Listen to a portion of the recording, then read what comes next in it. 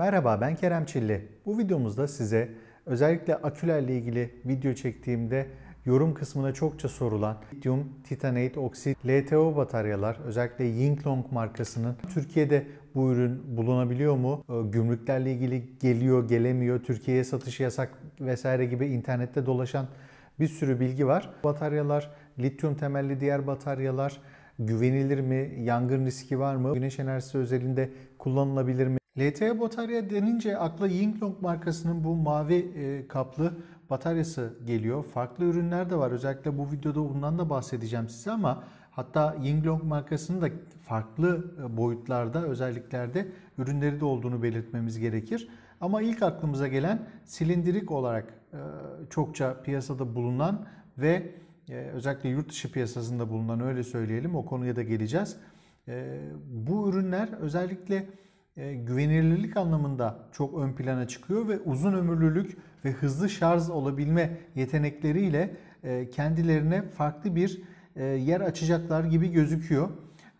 Bunu gözüküyor diyorum çünkü henüz ülkemizde çok fazla bu konuyla alakalı ürün tedarikçisi bulunmuyor. Şu an hatta bu konuyla alakalı şöyle bir örnek verebilirim. Bir tane firmada sadece web sitesinde bunu görebildim ve bakıldığında da bir sonraki ay, bir sonraki ay sonu gibi e, stoklara gireceğinden bahsediliyor. O yüzden umarım kısa sürelerde hayatımıza girer. Biz de deneylerimizi çok daha detaylıca yapmış oluruz. Bunun dışında farklı markaların olduğunu da size göstermek için özellikle bu bölümleri ekledim. Mesela Leklanchi markası e, farklı e, yine LTU üreten firmalardan bir tanesi. Onun dışında farklı teknolojilerde de üretim yapıyor. Ee, ve ürün özelliklerini de ekranda belirttim. Detaylı incelemek isterseniz de tabii ki web sitesini incelemenizi öneririm. Ee, bu konu önemli bir konu. Özellikle e, kurşun asit bataryalar, jel, AGM bataryalar artık yerini yavaş yavaş bu tarz bataryalara bırakacağını söylemek yanlış olmaz. Ee, Lishan markası da yine e, süper kapasitör olarak geçiyor ve LTO tabanlı ürünler üretebiliyor. Bunu da yine e, yurt dışı menşeli firmalardan e, tedarik etme durumunuz olabilir. Onlar da yeşil rengi benimsemişler. Yine 30 e, bin döngülü, 20 bin döngülü ürünlerden bahsetmişler. Asıl benim dikkatimi çeken hani bu konu Toshiba tarafından da geliştirilen bir konu ve özellikle güvenlik, uzun ömürlülük, %100 bataryanın tamamını kullanabilme, hızlı şarj olma, hızlı akım çekme, hızlı e, şarj etme gibi özelliklerden bahsetmişler ve bunlar e, yani hiç yabana atılacak özellikler değil. O yüzden bu tarz bataryaların bir an evvel ülkemize tedarikçiler tarafından getirilmesini çok isterim açıkçası. Maalesef çok fazla Türkiye'de bu ürünlerle alakalı kaynak bulamıyorsunuz ve getirtme şansınız da çok olmuyor. Ama hani gümrüklerle ilgili bir sıkıntı var yok noktasında herhangi bir bilgim yok. Ee, bir sıkıntı olacağını düşünmüyorum. Sadece bunu e, ürünü bilip ülkemize getirmek e, önemli bir durum olabilir bence. Toshiba'nın e, çok detaylı çalışmaları var. Yeni modellerinde hem hızlı deşarj şarj olabilir hem de daha fazla enerji depolayabilir özelliklere sahip ürünler geliştirmek için sürekli çalışıyorlar. Aynı zamanda farklı e, batarya teknolojileri, bataryaların içerisindeki separatörlerle ilgili farklı e, sistemler üzerinde de çalışıyorlar. Onun dışında 18650 olarak çokça bilinen bir boyutta e, LTO batarya yine üretimleri söz konusu. Ama bunları hep yurt dışı kaynaklardan buluyoruz. LTO zaten e, lityum temelli bataryalardan sadece bir tanesi. Yani çok fazla batarya çeşidi var. Şu an hani Wikipedia'dan size e, göstermeye çalışıyorum. Bir sürü batarya çeşidi ve lityum tabanlı olanlar.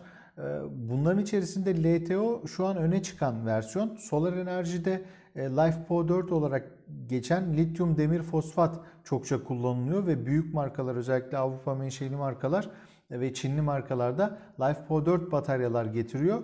LTO bataryalarda aslında e, kurşun asit bataryalardan sıkılmış, e, bunalmış, problem yaşamış insanlar için çok uzun döngülü olması e, onları cezbedecek bir özellik olur diye düşünüyorum. O yüzden e, umarım bir an evvel ülkemize gelir. Biz de bununla alakalı deneyler, testler yapabiliriz. İnternette baktığınızda YouTube'da onlarca video var. Ürünler insanlar alıp kendi uygulamalarını yapmışlar. Do it yourself olarak D videoları çokça görüyoruz. Umarım ülkemizde de bu durumlar gerçekleşir. Benim asıl burada isteğim şu. Keşke bunlar bir an evvel ülkemize gelse ülkemizdeki yenilenebilir enerji bölümleri olan okullarımızda deneylerde kullanılabilir e, ürünler olduğunu düşünüyorum. Sürekli döngüleri çok fazla olduğundan dolayı e, okullarımız için bence çok keyifli güzel bir ürün olabilir. Bakın burada güvenlikle alakalı kısa devre testi yapılıyor ve e, üründe böyle bir yangın riski, patlama, çatlama gibi bir durum söz konusu olmuyor. Keza aynı şekilde LifePo 4 olarak adlandırılan da üründe de yine e, yangın riski e, minimum düzeylerde öyle söyleyebiliriz. Bakın burada yaklaşık 4,5 dakika 5 dakikaya yakın kısa devre yapılıyor uçları ve e, herhangi bir yangın durumu e, oluşmuyor. Farklı ürün gruplarında, farklı lityum teknolojilerinde yangın çıkma ihtimali tabii ki olabilir. E, onunla ilgili de bu videomuzu bu bölümünü izleyebilirsiniz. Burada önemli olan nokta e, doğru teknolojiyi doğru yerde kullanmak aslında. Solar sistemlerde LTO bataryalar bence kullanılabilir. Tabii ki bunları test etmeden şu an söylüyorum ama o kadar video izledim LTO'larla alakalı. Yani kullanılmaması için bir neden olduğunu görmüyorum açıkçası. O yüzden e, umarım hızlı bir şekilde ülkemizde bulunur.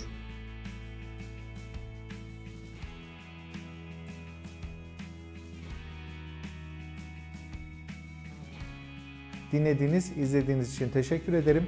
Bir sonraki videomuzda görüşmek üzere.